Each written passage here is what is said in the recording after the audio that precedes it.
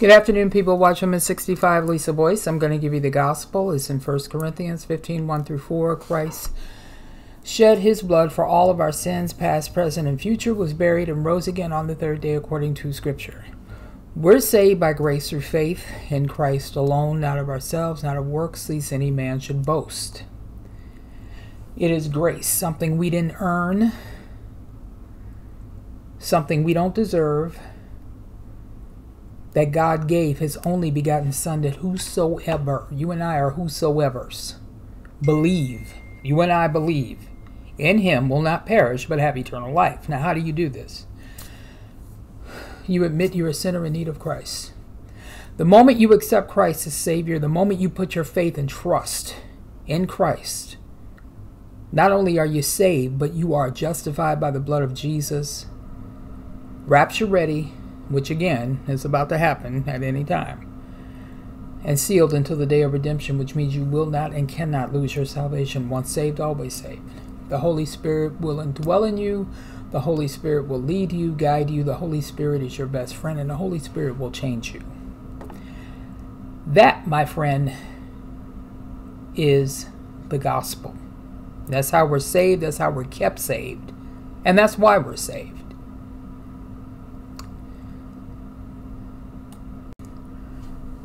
This article came in this morning, just now. Now, something is happening right now, and RT um, is developing. So it says that Putin signed a countermeasure to oil price cap. So the move is in response to a Western coalition price limit on Russian seaborne oil exports. Um, he signed a, dec- a decree in response to the Western price cap on the country's oil exports. Exports. So that's all there is right now. This is a developing story. It was breaking, so um, I'll look into it later to see what's going on. But this came in off of War News like five minutes ago. And it says that hundreds of T 72 and T 90 tanks are moving toward Kharkiv and Donbass.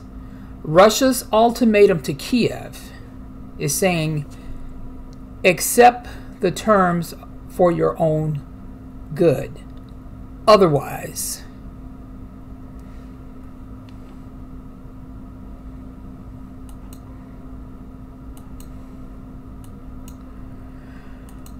um, hold on, let me get rid of all these. It says here the Russian Foreign Minister uh, Sergei Lavrov sent a telegram. And again, this just came out five minutes ago. Sent a telegram to Kiev shortly before the start of a large scale Russian attack, stressing that either Kiev will implement Moscow's claims or the issue will be resolved by the Russian army. We should note that this is perhaps Russia's last ultimatum to Ukraine.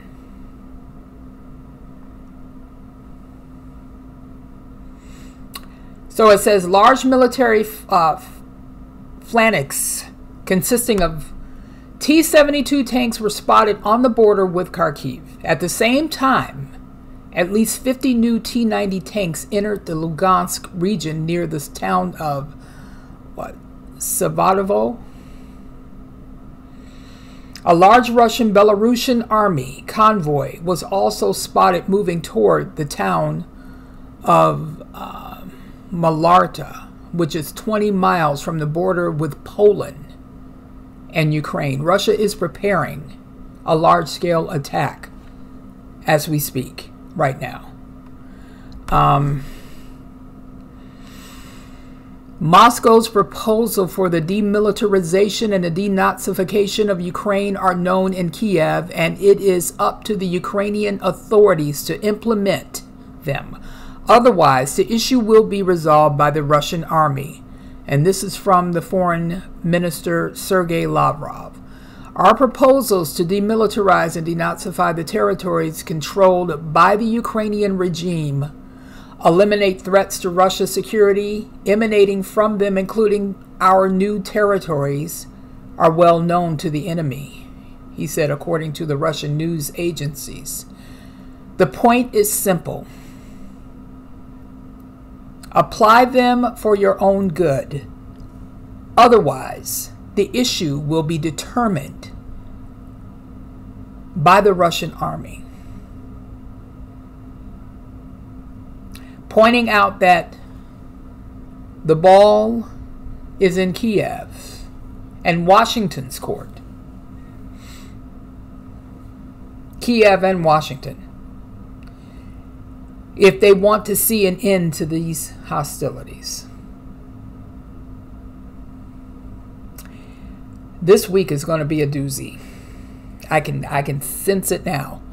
Um, there's videos here of tanks. So it says that in addition, the top Russian diplomat argued that it is impossible for Russia to have normal talks with the U.S.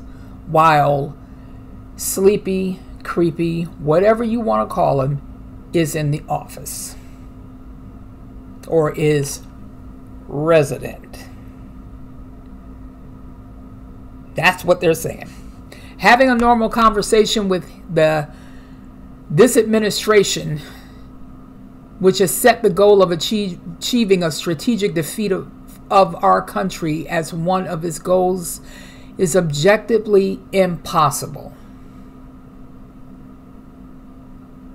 I thought he was going to say because, frankly, he's one fry short of a Happy Meal, but no. He didn't say that. But yet it is impossible to reason with someone like that. I mean, seriously. Lavrov noted, uh, he argued, noting that Washington's confrontational, no, confrontational anti Russian course continues to have a sharper character. If all this is being set up right now, God only knows what the next 24 to 48 hours is going to bring. Because there's videos of convoys of tanks that's being shown off right now. I mean, loads of tanks.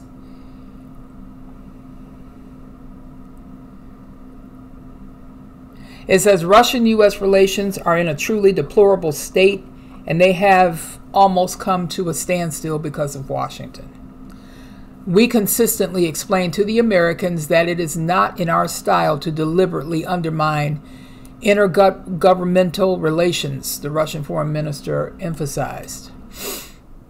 Um, in fact, Lavrov argued that the attitude of the West, which aims at the absolute isolation of Russia is extremely dangerous and carries the risk of a direct conflict between nuclear powers. The West is talking nonstop with irresponsible speculation that Russia is allegedly on the brink of using nuclear weapons against Ukraine. The political attitude of the West, which aims at the absolute isolation of Russia, is extremely dangerous. It carries the risk of a direct conflict between nuclear powers.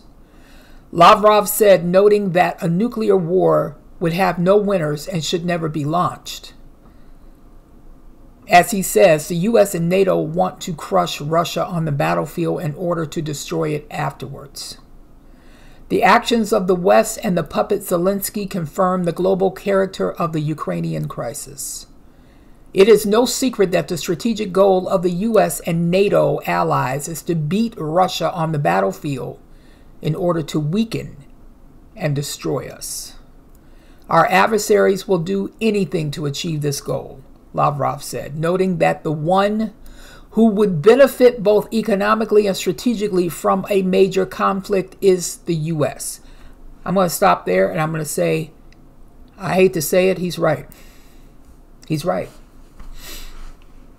Washington is also solving a key geopolitical goal to break the traditional ties between Russia and Europe and make its European satellites even more dependent on it. Let me repeat that.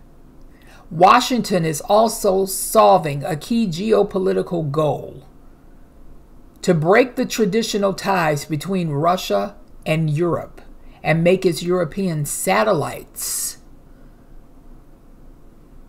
even more dependent on it. Now, let me give you a hint about something. Think back. Say, hmm, I'm, I'll be 57 years old Friday. I'll be 57 years old Friday. Now think back. 40 years ago. This is why I believe a lot of people had a hard time dealing with the second coming of Jesus Christ. How is it that it's stated in the Bible that every eye will see the second coming of Jesus Christ? Every eye will see the two witnesses being assassinated. How is it that every eye will see this? Because of TV and satellite. We didn't have this 50 years ago. We got it now. Technology and knowledge has increased a millionfold. You tell somebody this back 50 years ago, even 40 years ago, they'd be like, How is everybody going to see this? They looked at this in the Bible as to say, I don't know how this is possible. It's very possible now. Every eye will see the second coming of Christ, but only those who are saved will be in the rapture.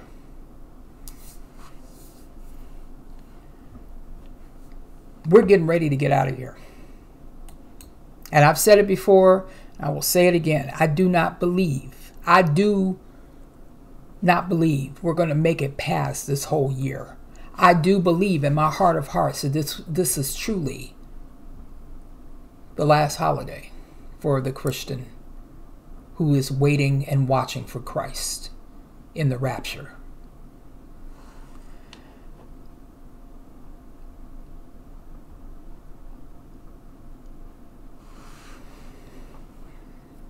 I do believe that. I do believe it's just a matter of time now. There is no turning back um, on this nuclear rhetoric. Russia has put it out there, and if Russia don't do what they say they're going to do, they're going to look weak. The U.S. already looks weak. The U.S. looks quite pathetic right now. But the only thing that's holding a nuclear battle back is the church. The church has got to be gone soon. You can argue with me until the cows come home. I really don't care. I don't really care who argues with me about that. But it's written in the Bible. He that letteth will let until he is let out, until he is gone. I'm paraphrasing, but you get it. Look at Second Thessalonians. First Thessalonians first, because the rapture is mentioned in First Thessalonians, and then we go over in the Second Thessalonians where, well, you know, you know. So yeah, I believe we're going to be gone soon. Now, the rapture is only for those who are saved. Period. The rapture is only for those who are saved, who have put their faith and trust in Christ Jesus. If you're not saved, if you haven't made Christ your Savior, if you're not saved, you're not going in the rapture. That's the truth. That's black and white. That's that's the Bible. Because the Bible says in 1 Thessalonians, those who are alive, those who are dead in Christ will rise first, and those of us who are alive and remain, those of us in Christ who are alive and remain will be caught up with Christ in the air. The dead in Christ has to go first because they're further down. So I'm just saying, they got to come up first. And then we will follow them. Again, the rapture is for those who are saved. I don't know why I said this, but it's a reason. There is a reason. If you're not saved, if you're not saved, you're not going in the rapture. Regardless of what your opinion about the rapture is, you have to be saved in Christ. Just saying. I will be back later. I'm going to link this article in the description box, and I will be on the lookout for that oil cap thing about Putin that he signed a decree to countermeasure the oil price cap. So that hasn't come out yet, but I will keep you in the loop. And until then, I'll be back later. Thank you.